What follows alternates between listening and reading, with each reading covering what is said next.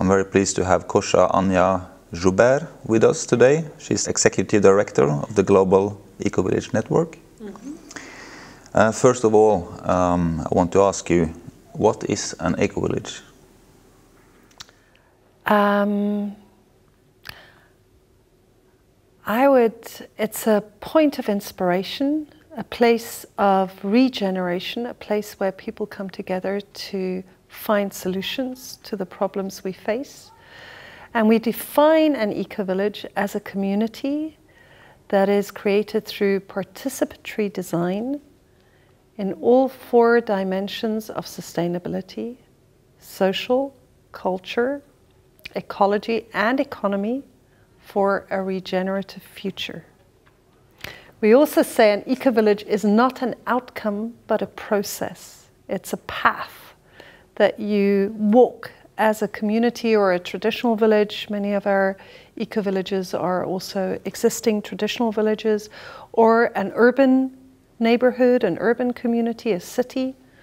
Um, you slowly start implementing the different eco village principles. Mm. Could you just walk us through those principles very uh, quickly so we get um, a broad idea? Well, we have principles in each of the four dimensions. So, say in um, in the ecological dimension, the principles that we aim for. This doesn't mean that a community has to have implemented it fully in order to be recognized as an eco village, but they need to show that it's their intention and that they are willing to walk there. So, just to take ecology as an example, some of the principles are to use waste as a valuable resource and to recycle it. One principle is to regenerate the ecosystems that we are a part of and increase biodiversity. One principle is to use green architecture. One principle is around renewable energy and moving towards 100% renewable energy. One principle is around organic agriculture and protecting the soils. One is about replenishing the water sources etc. And I could name them also for the other dimensions, but those are the aims. Great, thank you. Uh, why are eco villages important? You touched upon it, but why are well, I mean, it's a special time in which we live, and we all know this. Um, it's uh, we've arrived in the Anthropocene, where as humans we are co-creating the planet that we live on. Um, and at the moment, we have already destroyed a lot of the life systems that we depend on. We've lost around 40% of biodiversity in the past 50 years, um, or even a bit more now. Um, so it's quite radical. So just staying sustainable is no longer enough. We need to learn how to regenerate. We haven't even learned how to sustain it. So it's a big shift that we need to do. And um, eco-villages started from people who became aware of this and said, we want to actually walk our talk in creating something different. And we have, in the eco-village movement, had many facets and many expressions of implementing local solutions to global challenges. And together, we now reach, around, uh, reach out to around 10,000 communities around the planet. Together, all these local solutions are actually starting to have an impact. We see also over time that eco villages in their regions and their countries start to have a, a, an outbreath of inspiration into the region around them and they start transforming the region around them. So over time, eco villages really become seeds of transformation. Why, would you say that Estonia or the Baltic region in general uh, is a good place for such a conference as the GEN? I mean, let me let me just speak to Estonia because I think Estonia is a is a special country in many different ways. One is that it's it's a small country. You manage to um, transform your country through a singing revolution, which means that there is a spark in the Estonian people which can jump over. Yeah. I also find that there's a huge love for nature in the Estonian culture, a huge love for forest. Um, also, it's still a very strong connection to tradition, a love for own tradition. um, hidden in the culture. And I think that some of, you know, I, I don't know, I don't know the experience that was here in the communist times. Um, I think that there was some beauty, but also a lot of trauma, a lot of very difficult experiences. Um, so I think there's some issues around village life, community life that will also touch on those issues, but I also see this richness of um, potential around Estonia becoming an example of a country that stays true to its own roots, at the same time opens up to innovation, because we see a lot of very brilliant social entrepreneurship projects coming out of Estonia, while truly protecting their environment and living a life in social solidarity with each other. So we have the cultural roots, social solidarity, um, innovation in the economic arena, but also uh, an economy um, that is not based on selfishness, but also on sharing um, and this innovation and with the ecological restoration at the same time. I see that potential. And I also see that an eco-village development program, we had an interesting meeting here during the conferences where there were 10 different eco-village initiatives, but also the um, traditional village network of Estonia was represented. And we worked with the eco-village design cards to look at what are the strengths and the weaknesses of Estonian existing villages and um, the possibility of supporting them with the eco-village approach to transition to become more sustainable in all four dimensions. And there's huge interest, also interest of other countries like Scotland, Norway, Armenia, and other countries to actually collaborate with Estonia around this. So I see the possibility of Estonia becoming an example. Great. What does it take exactly to, to transform a traditional village into an eco-village? Mm -hmm. Yeah, we currently we've we've learned, you know, over the years, coming from single, working in single communities, we're now starting to work more in networks of communities in a country, so networks of traditional villages, and um, we usually we we start this work by an invitation that goes out to the villages and says, who is interested in this? And of course, in countries where there's a very rich history of eco-villages, we now find, for instance, in Denmark or Sweden, that the municipalities are longing for eco-village initiatives to come to them because they see the benefits that it has for their municipality. Um, but, you know, we start with where is their interest? We visit and share about best practice examples from around the world.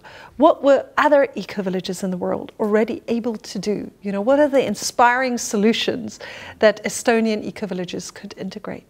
We also look at the village and look at what are the strengths of this particular village? Like what are they already doing in the four dimensions? And we find a lot of strengths. We also look at what are their needs. And together we assess what would be the leverage points for this particular village. Um, and from that, we create a, a community development plan or an eco-village development plan or a village development plan. Um, and then we look for collaboration with other NGOs, governments, local authorities to support the implementation of the plan. And we focus on technologies that can truly be owned by the community so that as much as possible local jobs are being created in this process. And as much as possible, the village is also um, networked with other communities, both in the country and beyond the borders of the country, because we find that a lot of strength and empowerment also comes from the from connection to other traditional villages in other places. We've already heard the Scottish communities are super interested in visiting the Estonian villages. And I think there's a lot actually to learn for villages from each other. Um, one of the most important issues uh, right now is how can we have economical sustainability in rural communities in Europe and elsewhere? As an eco-village designer yourself, how would you approach this question? Well, firstly, I want to say that we've already shown that it can be done. And, you know, I'll take as an example like the Findhorn Foundation in Scotland. There was a, a study done that showed how much through flow, more through flow of money it brought to that whole region, the region of Moray. And it now has the highest concentrations of social entrepreneurships, startups around such a community in a rural area in the UK. So um, eco villages are engines for a local economy. So it's not um, just for middle class people from the city moving out into the countryside. That was the the um, the, the beginning seeds of the eco village movement were often in middle class, and today it's really clear we need a much bigger transition to happen. And if people can't earn their living while making this transition, it it doesn't work. So we have a big focus on social entrepreneurship. I'll give one more example um, from Germany, the eco-village of Sieben Linden, where I lived before. This is now the only village in that whole region that has increased inhabitants. You know, all the villages are emptying out. This village is, this municipality is now flowering. It has the highest percentage of children. It has many um, quite highly educated people also moving back to the countryside from the city. And it is the only municipality in that whole region that has increasing employment opportunity. So again, the same, the same result. And how we do this in different ways. Um, one thing is that we have trainings. So we work a lot with very facilitated, facilitative and very experiential kind of training where people learn by doing, so very concrete training, and also very much working with the potential that people have, that systems have, that place has, and to connect to, to um, connect people also from different sectors. One important ingredient is to bring together the smartness of young people, like many villages have young youth that have moved to the city, or it can even be a generation of people who grew up in the city who are really hungry to move back to the countryside. But we would try and integrate that because there is a skill set there where if you can bring it together in a beautiful way, can create a creativity like the traditional knowledge that often the elders of the village bring. And um, the very special skills, you know, that might go from herbs for herbal remedies to um, special weaving techniques, you know, many different things. Bring that together with an intelligent design, the skills that are needed to work with IT properly, market properly. Um, also, we start often with eco-village branding instead of going like for 100% organic, which is often very hard and expensive to get, to use the eco-village branding to start selling the products. And these kind of combinations. So we always work with the concept of unity in diversity. So that diversity is very important to unleash creativity, looking at the potential that each element brings in the system, and then bringing that into a, a clever, a clever design. And we have very good results with that. Yeah. How important is it to be self-sufficient uh, with food? Um, yeah, it used to be a, a, a very, very high um, goal of eco-villages.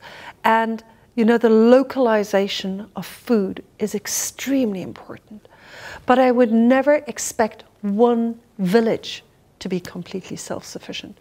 But within the region, you know, and it would be great to, to look at which village produces what. You know, maybe there's one village that really focuses on honey and one village that completely focuses on a particular other um, product. And then to have that exchange also between communities and villages, because it creates networking and again that flow of creativity. So we don't um, expect sufficiency within one eco village, but within a region and also. Um, Sometimes it can be very beautiful to export a particular product from that area to export culture and health also from a and also to import like coffee you know? It's not uh, likely you're going to be growing your coffee here but you can import it through fair trade from an eco village in somewhere else so support similar lifestyles somewhere else. So very aware consumption where you um, do it. Yeah. What would you say are the greatest strengths and also the biggest challenges uh, for eco villages or living in an eco village? Hmm. Um, I would say the greatest strength and the greatest challenge is rebuilding community because we come from a human past, not just in Estonia, but around the world, where we have inflicted pain upon each other as human beings. And we all come from that. We also come from a past where often villages and communities were very tightly constructed and didn't allow for a lot of individual freedom and expression. And today we're in a different time. We're in a different time. So um, the new eco villages um, need to create an empowerment of the individual, really looking at what is the potential, what is the gift that each individual brings. And I think the truly wise indigenous communities used to do that, you know, because only if the individuals can flower, the community can flower. And really to find what is the right place for each person within the whole. Give each person as much responsibility as they are willing and able to carry so that each person can grow in their leadership in different areas. We always have more than enough responsibility and leadership for everyone. And allow people to continue growing. Don't pull down your leaders, but support them to grow into even better leaders. And if we grow those kind of communities, it's inevitable that conflict and also um, sometimes past trauma will show up. And we need tools to work with that, to lose our fear of conflict and find out how, how is conflict a call for more fruitful win-win solutions? And how can we use conflict as a signpost that, ah, it needs an even better solution here. It's not a reason to separate, but a reason to find that way to spin up together. And that's where, so it's, it's really, it's the strength, but it's also the challenge. Great, thank you. Um, as seen from the outside, the, this eco-village lifestyle is often seen as uh, having a strong em emphasis on spirituality, vegetarianism, uh, and community. Um, is this kind of is this lifestyle for everyone? You think? Well, firstly, eco-village does not need to be like that and not all eco-villages are. So as I said before, we have the four dimensions, and it doesn't matter where you start in those four dimensions. So spirituality in itself is not one of the eco-village principles. There is a principle that speaks to mindfulness and personal growth, um, which is about really learning to sense again the world around us. We have often hardened a bit, not to, and this makes us unable to respond adequately to the feedback that the world is giving us today. So refining sensitivity is important over time, but it doesn't matter where you start. And we have, I can give as an example, the eco-village of Hurdal in Norway. This is really based on people saying we want to live in ecologically sound, healthy houses, and we want to feed our children healthy organic food. And this is it. Yeah, that's what the community is based on.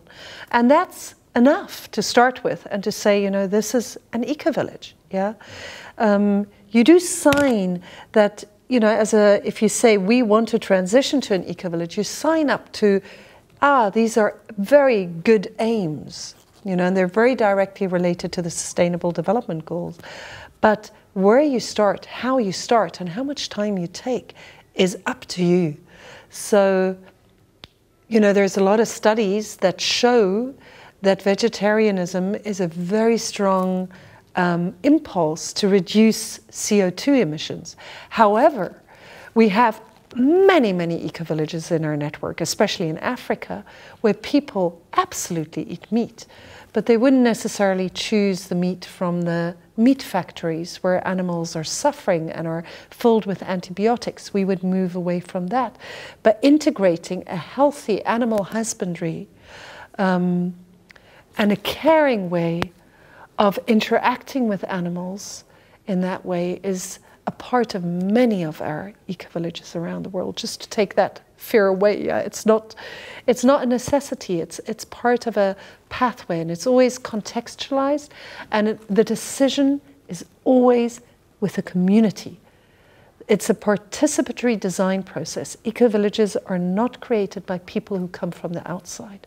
There's a pattern, and it's the people in the village that decide what is most important for us as a community, as our next step, that is true to us. Um, to what extent is Eco Villages a brand?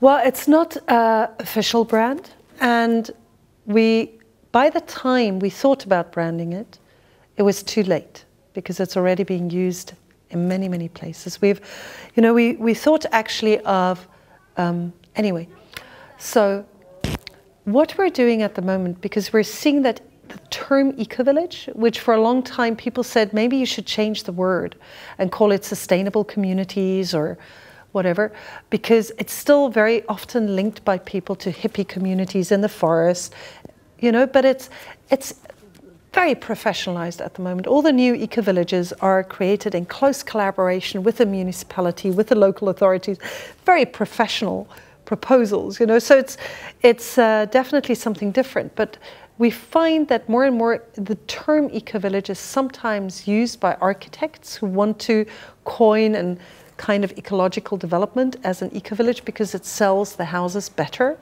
Um, and we are clear that if there is not a participatory design with the inhabitants, this is not an eco-village. Um, and what we're doing at the moment is we're developing, or we have developed the first stage of an eco-village impact assessment, which again relates to the eco-village principles. There's a self-assessment that communities can do, working from a baseline study to see how well are we doing. And we're just now, by next summer it will be ready, we're working with several universities on a scientific eco-village impact assessment. And in a few years, this will lead to the fact that you will have eco-villages and certified eco-villages, which actually reach a certain standard in the scientific eco-village impact assessment. But this is kind of a branding, a second level of branding for the future. What place do you think that technology has in, uh, in eco-villages now and in the near future? Well, technology is part of the expression of intelligence of us humans. So it has a core part, but also it's only one part of our intelligence. And many of the old traditions that people have and the old wisdom is also beautiful expressions of intelligence. At the moment, we're losing a lot of the traditional wisdom while a lot of new technology is bringing in. So we would like to balance that more and make sure we don't lose the sustainable traditions that really knew how to work with the plants around, how to understand the climate, how to understand the soil. There's a lot of wisdom in there that we don't want to lose. And sometimes technologies have been used in, or technologies can be used both in destructive ways and in regenerative ways. So we choose to use technologies in regenerative ways and also to become um, to become very aware how can technologies um, as much as possible be put in ownership of the villages because what we've seen often is that technologies are brought in that are so complex that they can't be repaired by the village or they can't be owned by the village. And as much as possible, we work with um, technologies that are truly able to be repaired in simple ways um, so they don't become a waste problem of the future or an unsustainable solution in the future. You know, like how can you work without batteries, you know, or work with batteries that don't create the problems that many batteries use? So we look at technology um, critically, and we always speak about the importance to link innovation and tradition. Thank you. Um, what are the main advocacy activities and goals for GEN at the moment? Well, we're very active at the EU in Brussels, um, lobbying for uh, giving a space uh, in policies to community led development. And there are many studies now that show that not only community led development gives a better return on investment than more top down development, but also that the impact of change is much bigger. Um, but in addition to the EU, we are very active at the UN. So GEN has consultative status with ECOSOC, but also with UNDP and, and UNEP. Is the Eco-Social Forum of the United Nations, um, but it's also where the climate change conferences are hosted within this framework. So we've been very active at the climate conferences, the COP. Um, Paris, Marrakesh. Last year it was in Bonn. Um, this year it is in uh, Poland, COP24. And we see quite a shift since the Paris Agreement um, has come into place. And governments have pledged to implement um, climate adaptation mitigation programs in their countries. And often they're at a loss to how to do that. Governments have pledged to implement the sustainable development goals in their countries. And at the moment, we see the gap between the pledges and the actual implementation on the ground grow. And as you see so, eco-villages can be part of the solution to this. Yeah, we're speaking to ministers, um, both at COP and then we're being invited into countries. We're especially speaking about the Eco Village Development Program, which is transitioning traditional villages to eco villages because it can scale up change processes very quickly in a country. And we have more and more countries where government support is coming together with these bottom up movements. And um, we currently have 23 governments in the world that have expressed their interest in implementing an eco-village development program and we're slowly but surely following up because this is rather we've been very surprised by the incredibly positive interest and response we've had and we're now working quite strongly um, with GEN education and GEN consultancy to be able to respond to these um, to this interest. To give an example, I've just come back from GEN Armenia, where um, after the Velvet Revolution there, the new government is completely behind an eco-village development program, and we've just um, done the first trainings in the first three pilot eco-villages, and are now planning for the next 10 pilot eco-villages. So it's, it's, uh, it's a very interesting um, advocacy in that level where we also, part of the Eco-Village Development Program is making a baseline study of what is already happening in the country, but also of what are the laws and the policies that are in place, what has the country pledged to do, what are they actually doing, and you know, what, what could the country, what are the changes also in the legal frameworks that could be implemented to support such community-led development. Yeah, talking about that, what would you say are the, are the biggest obstacles for this development? Uh, hmm, it's for sure it's different in each country. It's not the same. It really depends on the kind of government you have. Um, I think one big obstacle is that many governments have become very used to a top-down way of doing things, and that is also quite cemented into the the bureaucracy and into the systems. So to to um, like in Germany, we currently have a program where five eco-villages are working with five traditional eco-villages to transform them. And there's more and more traditional villages interested. But for traditional villages to even stand up and think, wow, you know, we could design our own pathway into the future. And for the mayors to wake up to that instead of thinking that they're needing to follow the programs coming from the region, and then co-creating, you know, the local action plans, co-creating that with the sustainable development plans for the region and the country, so that the local level, you know, we, we we're actually part of the participatory democracy movement. Because in a way we're, we're saying you know bring back believe in your people. Believe in the good intentions of your citizens and work with them.